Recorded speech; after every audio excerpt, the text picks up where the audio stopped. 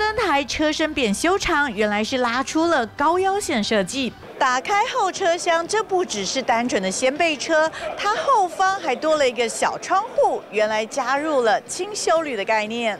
要跟上轻旅行风潮，行李箱也加大，从一般的四百公升扩充到四百六十七公升，车内空间也大调整。我身高一百八十二嘛，那大家都可以看见，其实我这边连膝盖都还有空间。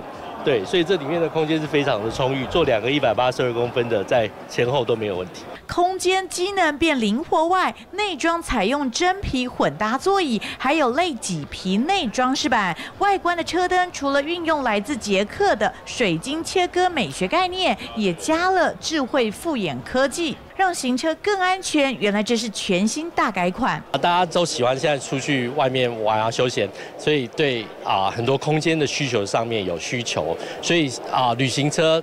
本身是越来卖的越来越好，那这样的一个轻旅在介于旅行车跟掀背车之间，我相信也有相当不错的一个可能性。纵观去年车市新车销量四十七万多辆，其中修旅车就占百分之二十八点七，难怪也让掀背车也要升级变成轻修旅来抢攻车市。董特新闻，沈玉腾、刘莹在台湾岛。